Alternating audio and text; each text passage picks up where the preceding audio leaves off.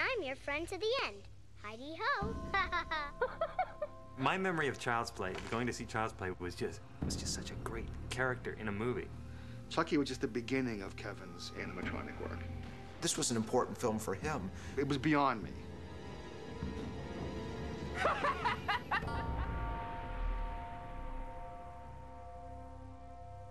I got a call from David Kirschner. I had just finished uh, Nightmare on Elm Street 3, I think. And uh, he, there was an animatronic head in that that I had done. Again, it was just a simple, had just some simple cables that, you know, moved Freddy's eyelids and, and his, his brows and cheeks and mouth and, and stuff like that, and that was it.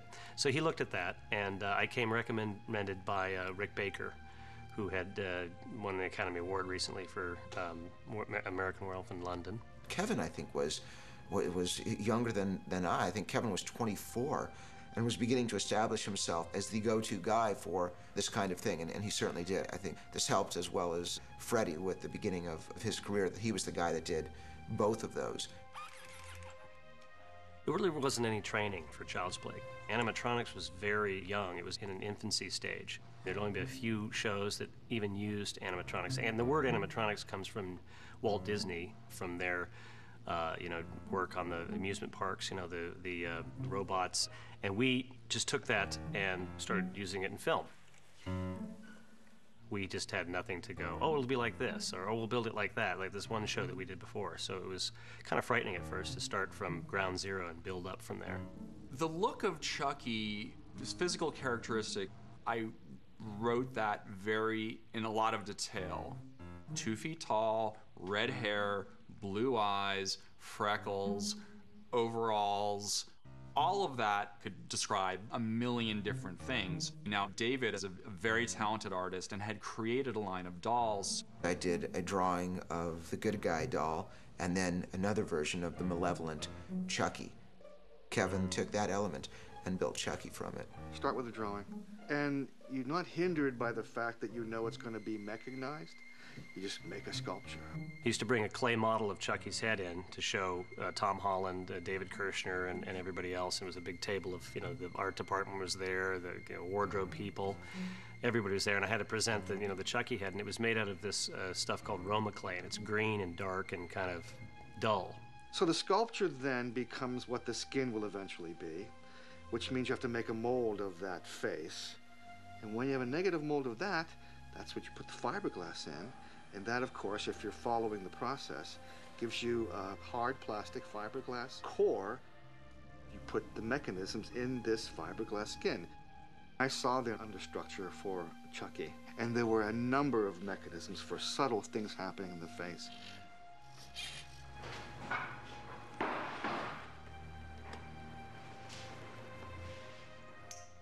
In one head, it could look sweet, and then and then it could instantly get angry and you know and those little tiny features would suddenly become devilish. There's one puppeteer that just does the eyes. His job is to blink them move them left and right up and down all that stuff and that's it. Then you've got a guy that does the brows and the cheeks. You have another guy that just does the mouth. So he's doing the jaw with a mechanism that goes on his head. Maggie. Yeah aunt maggie aunt maggie. They put an l-shaped bracket in the jaw so do that movement. This is the most uh, intricate head. Uh, we put a test skin on it for now, just uh, with some no. flesh tone on it. Uh, Amen. Man. So we could practice with it. It's probably one of the most difficult things because Steve's got to coordinate jaw movement with lip movement to get him to pronounce A, E, I, O, U, and a all the vowels. And I, O, U. And then he, he moves the lips with little joysticks with his fingers.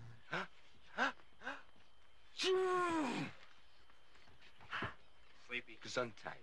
So there's three people that just work Chucky's face.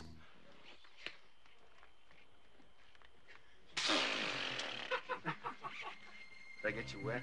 I seem to recall that what Kevin did with Chucky was there was a kind of a developmental stage of it's a doll at first and then it kind of became progressively a bit more human but I think what that does is psychologically, as an audience, you start to believe that it's a bit more alive. The doll slowly begins to change.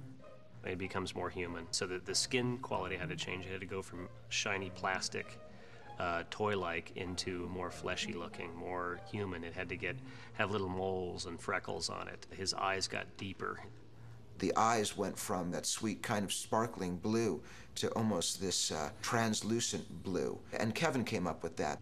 Brad has great piercing blue eyes, so we wanted to replicate that. They immediately almost suggest something evil because you can almost see through uh, the blue.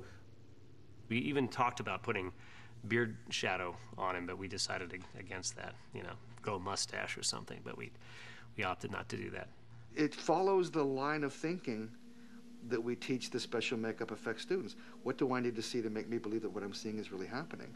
So if you can give life to this piece of rubber, the impression of life is there. Within the makeup effects world, there is kind of a, a community of, of artists that are constantly kind of pushing the envelope for the majority of, of things. So you, you do different techniques. I remember uh, being in Kevin's shop and being impressed by the work that was there. And I remember him showing us the, um, the walking Chucky. We had a servo puppet, and what I mean by that is it's little tiny motors that people use in uh, radio-controlled hobby cars or uh, boats or planes. We take those little motors and we put them inside, you know, the body. Today, if we're building any kind of uh, animatronic character and it has a flaw in it, you know that the digital guy can come back later and fix it. Back in the 80s, there was nothing like that. So everything had to be perfect because it couldn't be fixed by CGI. We were nervous the first two weeks, but after the guys got a little relaxed, they begin to goof off and begin to kind of do things on the fly. They could come up with spontaneous moves. And if Tom Holland was watching a rehearsal and he saw something that they, they did on almost like as an accident, he would say, hey, repeat that, do that again. It was tough. I think I was calm, or maybe appeared calm, because I was just scared shitless.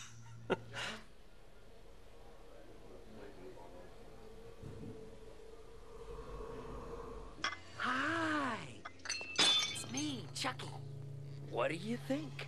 And the animatronic movement, again, perfectly suited because it's a doll, so you can have a kind of a, you know, 80s animatronic style to it. You mean I have to live out the rest of my life in this body? Then we had a all cable Chucky, bicycle cabled, so that you know with joysticks are connected to you know cables that go to elbows and everything like that. It was completely cable from head to toe.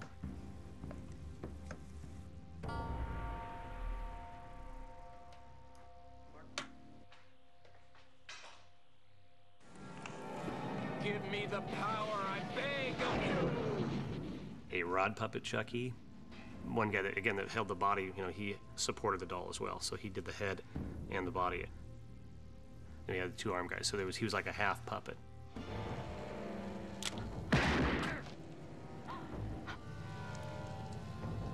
We also had a screaming, kicking, self-contained, flailing Chucky.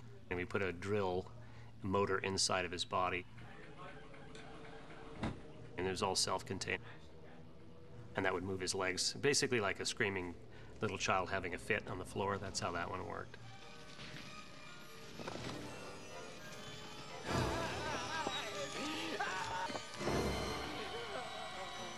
Now, if you were going to use a little person as an actor in a costume for certain shots, then you have to do a life cast of that actor and then take all of your physical attributes of what the outer character is and make a costume. I thought that the uh, uh, moments with the uh, little person in the costume and overscale sets to make it the right size were great because it really kind of opened it up and suddenly there's this thing, you know, running and scrambling. Great use of uh, mixed bag approach. The value of having physical pieces in front of actors is quite important, and many directors still value that. It was really a fun process, and even fun to discuss it now as to what we tried to do to bring Chucky from this very gentle form to something that would truly terrify people 20 years later.